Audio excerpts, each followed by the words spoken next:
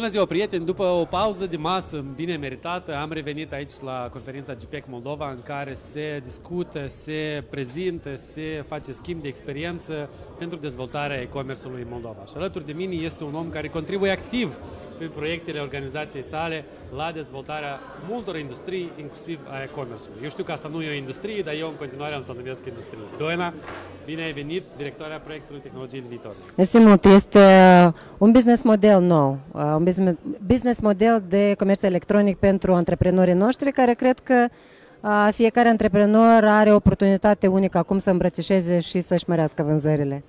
Uh, fiind permanent în interacțiune cu partenerii strategici ai Moldovei, care este viziunea lor asupra uh, acestui model nou de business? Ce își doresc ei să vadă să se întâmplă noi în țară? Uh, în primul rând, uh, noi vorbim despre economie digitală. Clar că acum businessul nu mai poate vinde doar pe magazine, trebuie să intre în tendință și să vindem și pe online. Uh, în al doilea rând, noi vorbim de business-uri mai reziliente. Noi suntem într-o țară cu criză, crizele apar periodic, iar e-commerce-ul te face mai rezilient pentru că poți să vinzi în toată lumea la un cost mult mai mic decât să-ți construiești un model clasic da, de business de a penetra alte piețe. Deci noi, noi înțelegem că e-commerce-ul deschide a, absolut niște oportunități unicale pentru antreprenorii din Moldova, pentru a-și crește vânzările în regiune, dar și în toată lumea și cu precădere în piața de alături, România, Uniunea Europeană, care este o piață foarte mare. Din ce am vorbit eu cu, cu cei care i-am intervievat azi, majoritatea au văzut, de fapt, uh, avantaje în crize. Uh, COVID-ul i-a făcut să vândă mai mult, să crească mai tare. Uh, Cornel de la Fan Courier mi spunea că în 2007, când lumea intra în criza Marea Recesiune, ei aproape că se bucurau. Pentru că întotdeauna în modelul lor de business încearcă să planifice 2-3 ani înainte o, o creștere. Deci, din cât înțeleg eu, nefiind din domeniu, dacă vrei să faci e-commerce bun și să crești, trebuie întotdeauna să te uiți ceva timp înainte, să planifici o extindere. Gândesc corect? Uh, da, cu siguranță, pentru că avem acum uh, o revoluție tehnologică prin inteligența artificială uh, și noi vedem că se schimbă tot în jurul nostru din cauză și datorită și tehnologiilor, dar și schimbărilor climatice și a crizei. Asta înseamnă în primul rând că se schimbă consumatorul. Ceea ce vrea să cumpere, consumatorii pun mare accent pe valoarea brandurilor, așa numit uh, brands with purpose, branduri cu valoare, cu uh, ceva mai mult decât pur și simplu să vrea să vândă un produs. Consumatorul întinerește, asta iarăși vorbim de o nouă generație de consumatori. Uh, și, uh, prin urmare, este o foarte bună oportunitate de a te lansa în e-commerce, de a face ceva nou. Asta înseamnă pentru Uh, afacerile noastre, în primul rând că vor fi în pas cu tehnologie, ceea ce vor lansa acum nu va, nu va trebui refăcut, pentru că mulți își refac acum magazinele online, își refac acum și ceea ce înstă în spatele magazinelor, toate tehnologiile, ERP-urile, uh, toate acum se modernizează. Iar ai noștri au ocazia ca să investească din start inteligent. Um, vorbeam anterior despre faptul că uh, ai un caz exact când cineva a încercat să facă mai multe vânzări într-un magazin fizic și cineva i-a zis, trebuie să schimbi lumina de pe galbenă pe una mai rece. Imediat o crescut. Dacă poți să îi dai acest da, vorbim, Da, vorbim în special de industria de fashion, uh, care o curatoriem de peste 15 ani și acum la fel suferă schimbări. Uh, e o industrie care este cumva deprioritizată, pentru că oamenii s-au focusat pe facturi și pe alte, pe alte tipuri de consum, în special în regiune. Și atunci am observat că mulți din designerii noștri suferă, nu au vânzări mici. Mm, și un, avem și niște campioni uh, din Moldova care mai că mai că închideau magazinul, designeri independenți și atunci când am construit, i-am susținut împreună să facă un model pe e-commerce, au ajuns la vânzări de 100 de ori mai mari în doar 2 ani de zile. Da, prima încercare a fost un fail pentru că au încercat să facă, a încercat să facă magazin propriu. Pe e-commerce e dificil să te uh, faci văzut pentru că sunt foarte multe magazine independente online. Și una din strategiile care a lucrat a fost să se listeze pe marketplace-uri. Marketplace-uri în România, marketplace-uri internaționale pentru designeri independenți și să găsească acele comunități în toată lumea, în Statele Unite, mi-a spus că vând în Tasmania, în Etiopia, comunități care apreciază uh, un design unical în haine. Și noi vorbim de faptul că acești campioni acum fac 10 sute de mii de euro vânzări pe lună livrând în toată lumea. Îți dai seama dacă noi, dintr-un caz, dintr-un campion în Republica Moldova, putem să avem 10, 20, 30 de campioni de acest gen. Și asta m-a făcut să, uh, să gândesc și să mă uit un pic și pe statistică. Noi avem piața locală de e-commerce, cam am estimat-o noi, noi am făcut un exercițiu anul ăsta, ca să ne uităm pe, pe cifre și suntem un pic peste 300 de milioane. Asta e 4% din, uh, uh din comerțul intern, din comerțul intern. În Moldova, 4%. În România este 11% din comerțul intern, iar media pe Europa este 19% din comerțul intern. Îți dai seama, asta înseamnă că noi suntem într-un punct când doar putem să creștem. Uh, și putem să dublăm, să triplăm, să facem vânzări de 10 ori mai mult dacă înțelegem bine cum să facem e-commerce. Ori despre asta vorbim astăzi toată ziua cu speaker de astfel de învergură ca să explice într-un mod foarte practic cum de făcut bani, vânzări din e-commerce. Nu cum de startat un magazin online, dar cum uh, de uh, lansat un business, cum de făcut vânzările. Dacă poți, hai să le spunem celor care n-au putut să vină astăzi aici, care ar fi unul din acele exemple pe care i le-au dat, care ți-a prins ție, care ți-a plăcut cel mai tare? Cel mai mult, uh, ce contează pentru consumator? E conveniența. Deci noi înțelegem că consumatorul are tot mai puțin timp și ia decizia în câteva secunde. Asta înseamnă că dacă Ceea ce, acolo unde tu listezi produsul tău și listingul produsului este un mare, un mare weakness sau un gap uh, pentru antreprenorii noștri uh, și dacă nu, nu ai clară informație din ce este făcută rochia, componența fibrei sau nu înțelege cum cade sau nu înțelege dacă modelul e înalt care, pe care ai expus produsul, ce înălțime are, ezită să cumpere și atunci ai pierdut. Așa numită rată de conversie care în medie e 3% în lume. Și am văzut cum schimbând uh, nu știu, funcția de search sau schimbând uh, cum ai, unde ai pus prețul. Deci niște, o conveniență, uh, confort care îl dai consumatorului, tu îți mărești rata de conversie la 70%, adică procentul consumatorilor care apasă și cumpără produsul se mărește dublu, triplu, patru ori și asta mi-a părut uh, că e-commerce-ul este în special o industrie cumva psihologică, da? Trebuie să știi foarte bine uh, Mm, cum să te listezi, deci cum să uh, fii acolo, pentru că consumatorul nu poate să atingă uh, produsul. Și asta mi-a părut uh, cea mai importantă mm, lecție sau acolo unde urmează să investim, să știm cum să punem industria de fashion, cum să listăm mm, articolele vestimentare, cum să, în industria de mobilă la fel, cum să listăm pe online astfel încât consumatorul să apese acel buton uh, cumpără.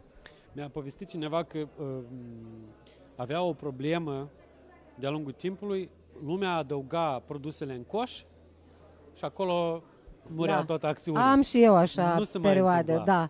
Și aici deja intervin toate aceste elemente pe care trebuie să le cunoască antreprenorul sau echipa lor da. despre conversion rate optimization, despre Google Analytics, cu care am vorbit anterior, cu, cu Gel. Uh, toate aceste elemente care fie le poți le externaliza, să dai cuiva un comision sau să plătești serviciile cuiva și ai scăpat de această grijă, fie să le înveți de unul singur. Cum îți pare ție?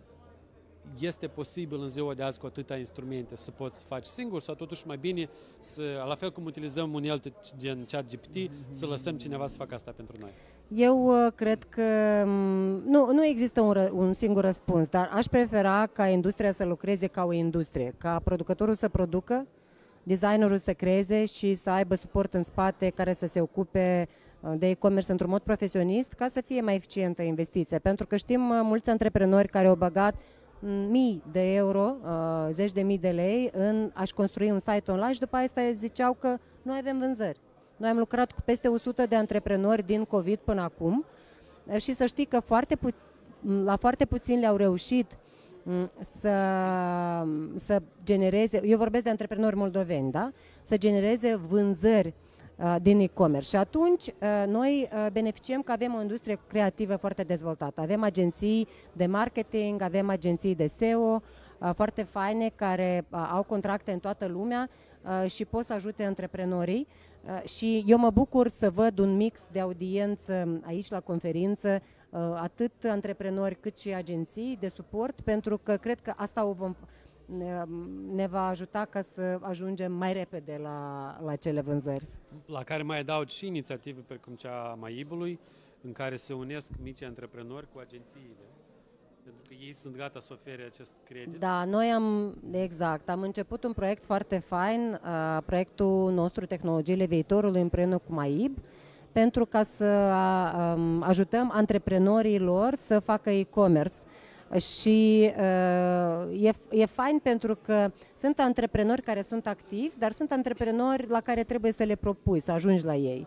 Uh, și atunci cum AIB, ei, ei au uh, și oferă, oferă niște produse inter, mai interesante, uh, cel puțin la sistemele de plată, pentru o perioadă de testare, iar noi le oferim uh, niște uh, incentives sau niște uh, stimulente, stimulente. da, nu știu, le numești mini-granturi, Uh, ca să, mm, ca să lucreze cu agențiile profesioniste de e-commerce, să-și facă fotografii profesioniste, să-și facă un, să se listeze într-un mod profesionist și să investească în, în marketing. În două săptămâni am avut uh, peste 85 de antreprenori care au aplicat uh, la, la acest program și deja sunt primii 30 care conlucrăm și mai mult ca atât că pe partea cealaltă noi curatoriem o listă de provideri agenții credibile care m- mm, pot să lucreze cu, uh, cu antreprenorii. Ce alte proiecte sau instrumente sau activități aveți pentru cei care vor să dezvolte capacitățile de e-commerce?